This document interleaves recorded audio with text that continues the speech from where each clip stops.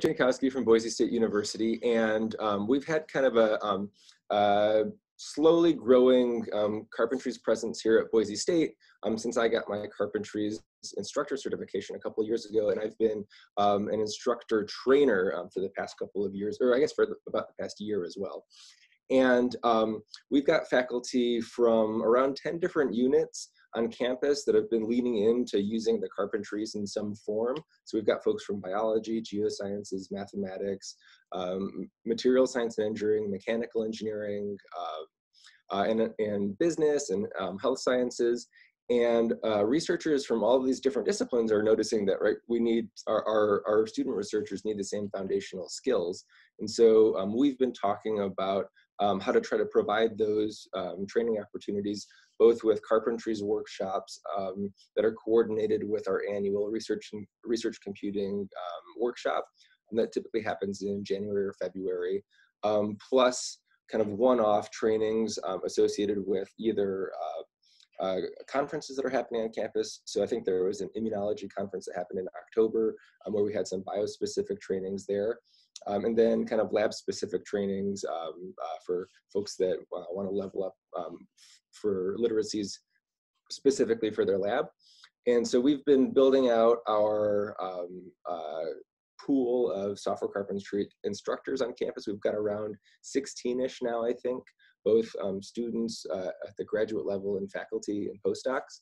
Um, and um, one of the things that has emerged from this growth in carpentry's activities is uh, a vertically integrated project on campus called um, Computing Across Campus that is uh, attempting to provide a place to help facilitate the, the these community discussions um, and get students credit for it. So vertically integrated projects came out of Georgia Tech University and um, the, these are experiential learning courses that provide students with an opportunity to get um, experience in research labs, uh, get credit for that, um, and provide an opportunity for uh, faculty to provide these mentoring experiences and get students in the labs without having to uh, provide funding for them if they don't have funding for undergrads. And so um, the idea is that you've got uh, more senior students mentoring the, uh, the newer students that are coming in, and you build um, uh, a steady state of uh, both doing research and um, having training happen.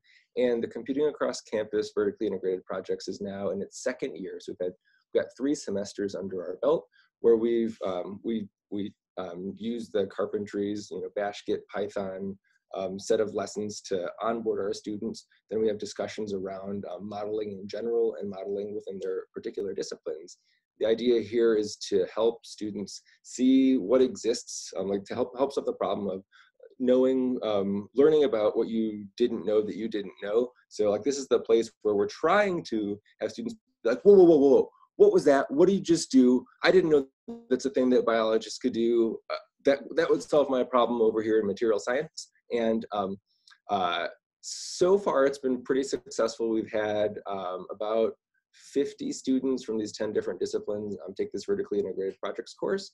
Um, so it's starting to socialize the utility and the need for more carpentry training across campus. This year, um, Boise State signed up to be um, a uh, platinum member of the Carpentries um, in exchange for, uh, so at a reduced price in exchange for um, building out our uh, uh, instructor training capacity. Myself and my student Mike Henry are two of the instructor trainers on campus that have been building that out. And so yeah, I guess we're in this interesting place of having both um, a lot of momentum and a lot of initial successes on campus. And we're trying to be mindful of how to scale that out responsibly um, and um, thinking about coordinating with um, other organizations in the Pacific Northwest for um, opportunities to, um, to make sure that our students that are getting trained have the computational resources at their fingertips that they need for doing their work, um, uh, job opportunities uh, after they graduate, and um, a place to continue um, uh, participating in the carpentries. And that feels super long-winded now, so I'm going to stop. That was perfect, Eric. Thank you so much. Um, Eric, did you have that final thing you wanted to add? Oh, sure. Yeah, um, uh, something that came to mind uh, as uh, May and Patrick were talking was um, uh, we've got this. So in the state of Idaho, we've recently passed legislation that requires computer science standards to be included in K-12 curriculum across the state. And every high school needs in the state needs to offer at least one computer science course. And um, so at Boise State, we've got folks in the um, uh, College of Education that train these teachers that go out into Idaho to um, to meet these curriculum standards. And one of our programs on campus is called I Do Teach, and that if you're a STEM major, it's kind of it's, it's kind of like a minor. Um, so you take these additional I Do Teach courses, and you're you graduate um, with a uh, Idaho teaching certificate, so you can go teach in Idaho high schools and K-12, um, like right out of uh, right out of college.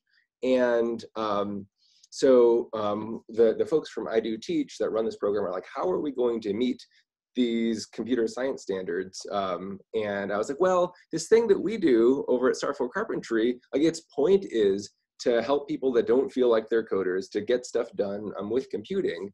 And the um, like the idea is to to make it an inclusive space for learning how to get stuff done um, with um, computing. So like the, the pedagogical angle is the right approach to take for possibly training these teachers and I do teach um, and um, and maybe more broadly through in the College of Education. And so um, we've got some um, conversations that have started around possibly hiring um, a carpentries coordinator on campus. And I've got this um, crazy uh, mental model I'm going to try to share. Uh, let's see, where is the share screen. I can't find it. Um, it's at the bottom. It's green.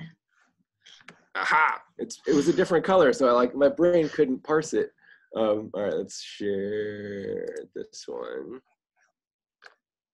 Um, so like uh, this is this is this is my crazy gram um, that I drew um, when trying to make the case for like why we need this person on campus. Uh, but like in the middle is this carpentries coordinator that doesn't exist.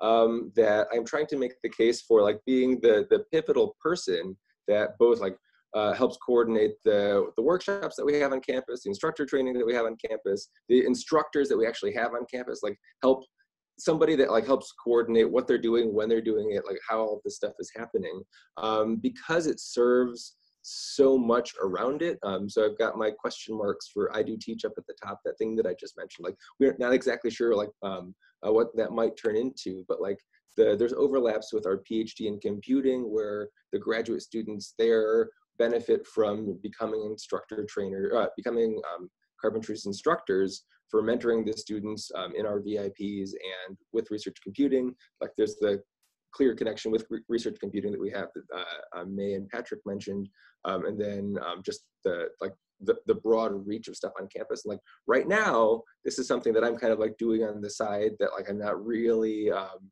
uh, uh, getting like extra points for. And so like uh, this is something, this is one of my personal missions on campus is trying to create this position um, through hook or through crook um, to make my life better and the lives of everybody uh, around me better. Thank you and so Eric, much. Oop.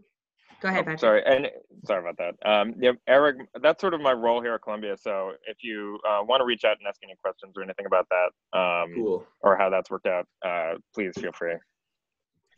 Thank you, Patrick. I was just going to say, Eric, there are other organizations who uh, have gone through this, and I will email you some of them um, if you'd like, if, it, if you think it would be helpful to talk to them um, specifically regarding metrics that may show that this strategy is effective um, for making the most of programs across campus. That'd be great. Thank you. Of course. Okay.